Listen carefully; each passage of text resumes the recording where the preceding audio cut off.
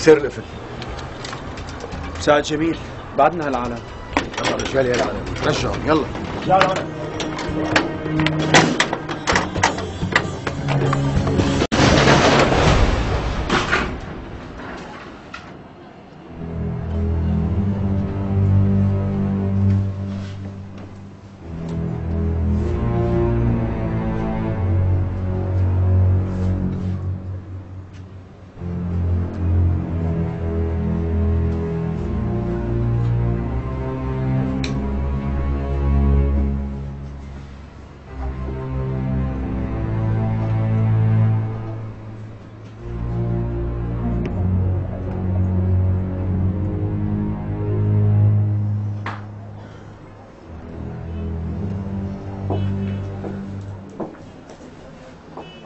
الخزنة مفتوحة وما فيها شي بنوب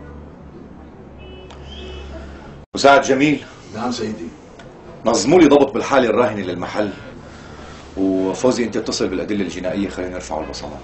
حاضر سيدي. حاضر سيدي. البضاعة هي يا شباب رح تضل مدفونة سنة كاملة لحتى تهدى الأمور. وبعدين نطلعوا كل واحد منا بياخذ نصيبه وكل واحد منكم رح يعيش ملك. لك ملك وما بيعود حدا يتعرف على الثاني عدو صحيح. كل واحد من طريق.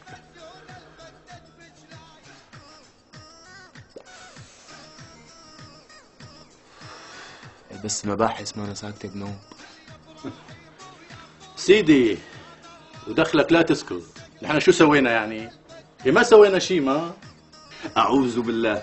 نحن بنمشي الحيط الحيط وبنقول يا رب السترة. علينا الصوت خلينا نستهجى.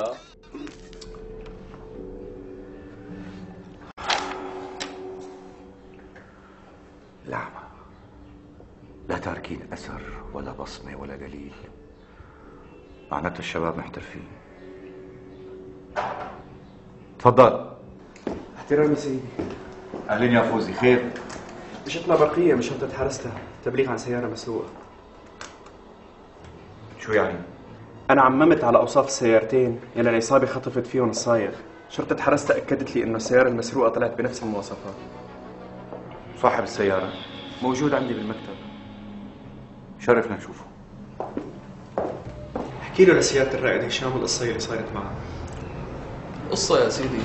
من كام يوم وأنا سايق السيارة. صار معي شغلة بسيطة. شو هالشغلة؟ أنا سايق السيارة مسرع شوي. قطع شريط الدبرياج. إيه. قمت أخذتها على الميكانيكي اللي بحرستها وقلت بعمل لها حوصة. وامبارح رحت لحتى اجيبها حسب الاتفاق اللي بيناتنا. ما لقيتها للسيارة بالمرة. السيارة اختفت. أوف. وين اختفى؟ قال لي الميكانيكي صاحب الورشة إنه صانعة واخذها لحتى يجربها وراح وما عاد رجع بالمرة.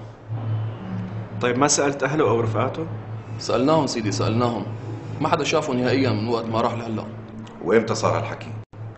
يعني إمتى قال لك الميكانيكي إنه صانعه وراح يجربها؟ أول امبارح سيدي. رقم السيارة وأوصافها مكتوبة بالبرقية؟ موجود يا سيدي. عم نعمل جهد ما بدي القصة تطول يا هشام. لازم نوصل لهم لازم نقبض عليهم. وخاصة إنه عم ينتحلوا صفة أمنية. إن شاء الله. خذ هي إجتنا اليوم.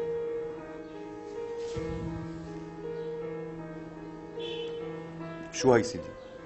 ضبط محول لنا من شرطة الريف. عم بيقول إنه في أخبار عن عدد من الرجال عم بيجتمعوا ببيت بالغوطة. بيت بالغوطة؟ واللي اشتكى عليهم واحد بيته جنب بيته. عم بيقول إنه كل يوم سهر وعربدة وما عم بيخلوه ينام الليل. والمطلوب سيدي؟ ابدا راقبوا البيت. هشام دير بالك الله يرضى عليك. يمكن يكونوا خطيرين. فهمان علي فهمت عليك سيدي. خلص أنا راح أوكل هي المهمة للنقيب فوزي. عظيم. وهيك بيكون منيح. أنت بتتفرغ لقصة الصايغ. بصير في شي غيره؟ اتكل على الله. بدي أخبار منك مفرحة مثل العادة ها؟ هدول عيارهم يومين. لا تاكل هم سيدي. يلا مع السلامة.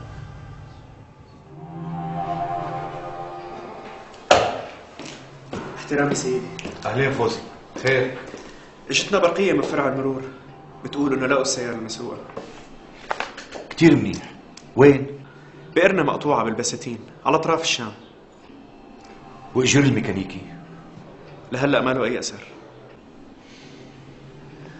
طب خد الشباب واسبقوني لحقكم. حاضر سيدي.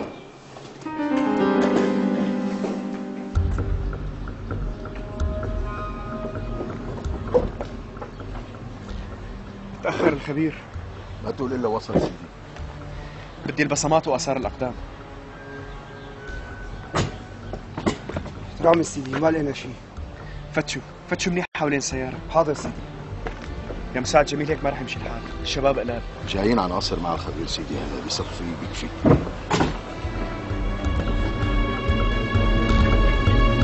أستاذ طمني. طمني قل لي شو صار؟ هاي جايتي من عند رئيس النيابة.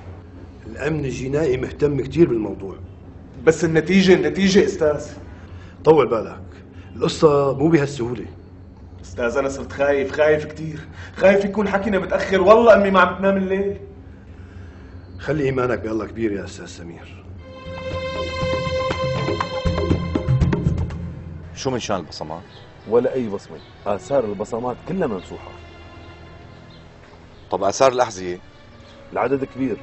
أكثر من ست أشخاص كانوا شو اللي عرفك إنه أكثر من ست أشخاص؟ من آثار الأحذية. طب فينا نحدد العدد بالضبط والاتجاه يعني منين فاتوا ومنين طلعوا. رح حاول ورح أكتب هذا الشيء بتقرير الأدلة الجنائية. الله يعطيك العافية. فوزي. استطلعتوا بيوت المزارعين المحيطة بالمنطقة هون. سألتوهم استجوبتوا حدا. سألنا الكل. ما حدا حس على شيء. غريبة. مع أنه عادة بهيك مناطق الصوت بيودي. هي هي المنطقة على محور 2 كيلو ما لها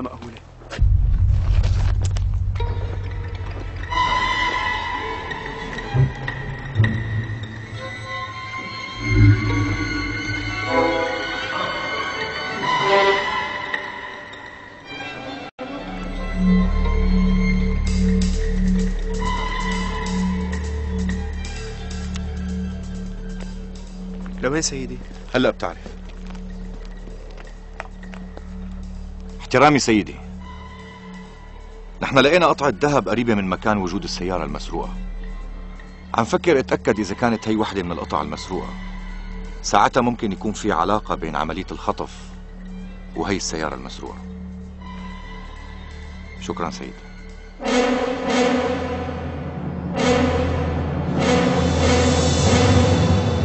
شايفة هي القطعة من قبل؟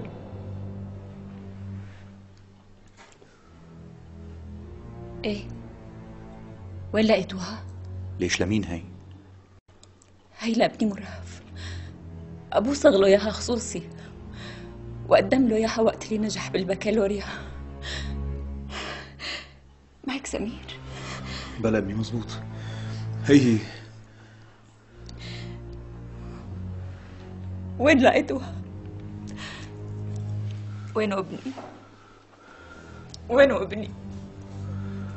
وينه جوزي؟ وينه؟ وينه ابني؟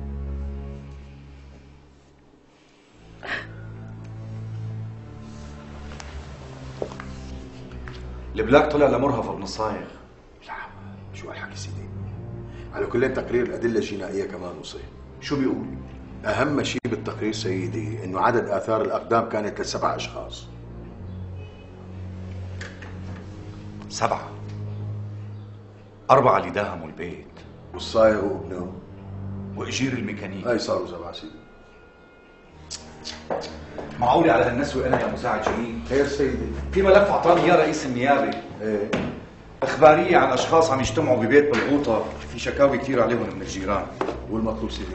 مراقبة البيت. أنا وعدت رئيس النيابة إنه نكلف النقيب فوزي بمتابعة هذا الموضوع. اهتم فيه أنت شخصيا. حاضر سيدي احترامي. شو يا فوزي؟ طب يلا أنا جاي فورا.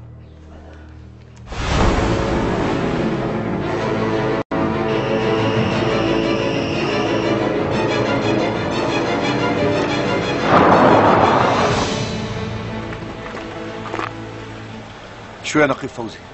سيدي الخبير بعد ما لحق آثار الأقدام اكتشفنا قرنة لقينا فيها التراب مقلوب. حفرناها وشفنا هديك الشوفة. شرف سيدي.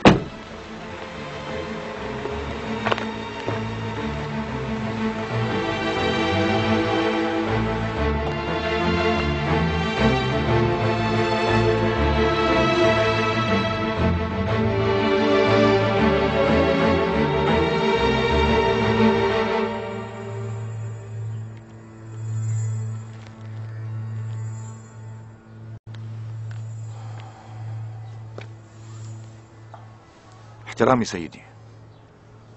بناء على تتبعنا لآثار الأقدام حفرنا حفرة لقينا فيها ثلاث جثث مقتولين ومدفونين. على الأغلب الجثث بتعود للصايغ وابنه والجثة الثالثة على ما يبدو جثة الميكانيكي هيك مبين من ثيابه خبرنا الدكتور غسان. إن شاء الله التقرير كامل بيكون على مكتبك اليوم المساء. ولا يهمك ولا يهمك. مع السلامة.